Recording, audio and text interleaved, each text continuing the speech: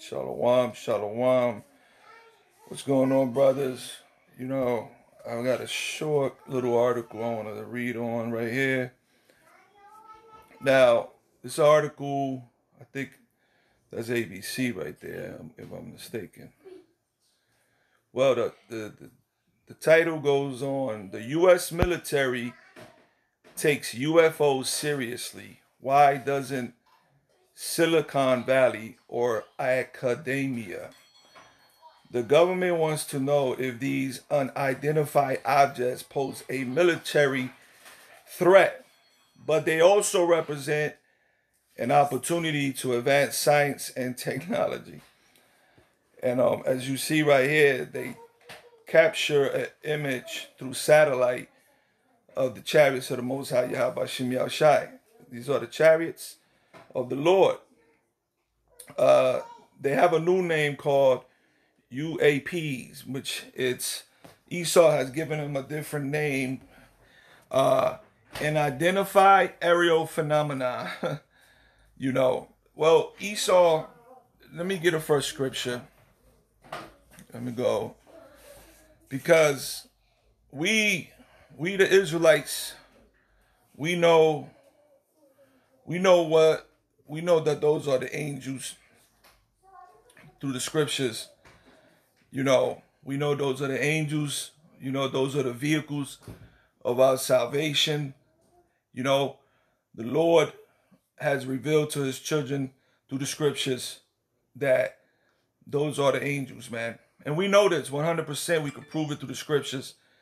But Esau has no idea. He doesn't know. Well, the elites, the international bankers, they know. They know the scriptures. But your average you know, six pack Joe, you know, in the world, they that's why the scriptures. I'm gonna read it too right here. Okay, let's go. All right. Uh, this is Jeremiah 10, verse 1. Hear ye the word of the Lord speaketh unto you, O house of Israel. Thus said the Lord Yahweh, learn not the way of the heathen, and be not dismayed at the signs of heaven, for the heathen are dismayed at them.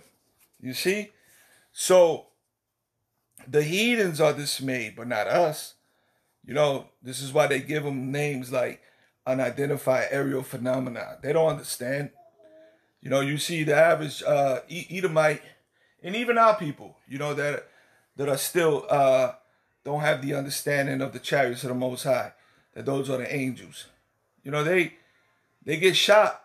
They they they they get excited. Oh my God, what is that? Oh my God, you know. So, you know, we know what they are, you know? So, uh, let me see if I, a little something there. Let me see if I read a little bit of it. Mm, okay, let's read right here. In February, for instance, one of the biggest innovators of this century, Elon Musk, was asked, "Was he was he was he thought about the recent Pentagon acknowledgement that Navy pilots have seen objects flying in out of in our airspace using advanced technology we can we can't identify. And that's true because what you have to understand that these chariots, these angels, these vehicles are not from this world. These vehicles are from a fourth dimension. They're from the fourth dimension. They come from the spirit world. You know? They this is this is where uh, this technology is beyond this world. Esau can't even understand the technology that the Lord has bestowed upon his angels and, in his creation, man. They're fourth dimensional beings. These are extraterrestrial, celestial objects, vehicles. You know, they have, when you read in the book of Ezekiel, you know, it talks about the power of these uh, chariots. You know, they disappear, they appear. They could be uh, one moment in the sky and in the blinking of an eye, they just zoop up into the space. You know, they camouflage. They can um, cloak. They can cloak, you know, into different clouds and and shapes. You know, they, this beyond Esau's comprehension, man. So let's read. Um, let's read. Objects flying in our airspace using advanced technology we can identify. Of course not. Let in let alone understand or explain or reproduce. Musk's answer was honestly. I think I would know if there were aliens. And honestly, this response could have come from any number of prominent scientists or industry figures. Musk's non answer was revealing because it suggested that he wasn't aware of or interested in basic unclassified facts about military sightings of UFOs or that the government is looking into the possibility that they are made from advanced technology that our science can't yet figure out. Of course you can't figure out. This, these these are like I said, these are spiritual celestial technology from the fourth dimension. And the Lord has revealed to his children, us, that, you know, what, they, what that they are the angels. I'm going to get one scripture. I'm going to end it there. Uh, we're going to get Psalms. This is the book of Psalms. It's a class. Everybody's aware.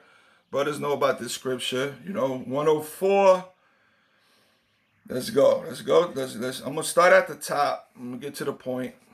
This is the book of Psalms, chapter 104, at the top, verse 1. Bless the Lord, my soul, O Lord, my God. Thou art very great. Thou art clothed with honor and majesty. Who covers thyself with a light, with light as with a garment, who stretched out the heavens like a curtain the, universe is vast. The Lord spreads it. It's infinite. Verse 3 Who layeth the beams of his chambers in the waters, who maketh the clouds his chariot, who walketh upon the wings of the wind. You see? So these clouds, these chariots, these so-called UFOs, those are the angels of the Most High in the firmaments, in the skies, in the waters. When it talks about the beams and the chambers and the waters, it's talking about the firmament, of the sky. Verse 4, who make it his angels. You see? These are the angels. They are the ones that are maneuvering and and and and and controlling these vehicles. You know, the angels have power to to fly on their own. They, they have the power to appear as humans and um, shape shift, but they also maneuver these vehicles that are in the skies. Okay? Who maketh his angel spirits, his ministers a flame, a flaming of fire. Okay? So I hope that's edifying, brothers. All praise to Yahweh Shem Yahawashi. You know, hey, Esau is marveling. He doesn't understand. But we know those are the chariots of the Most High Yahweh. By Yahawashi. Shalom.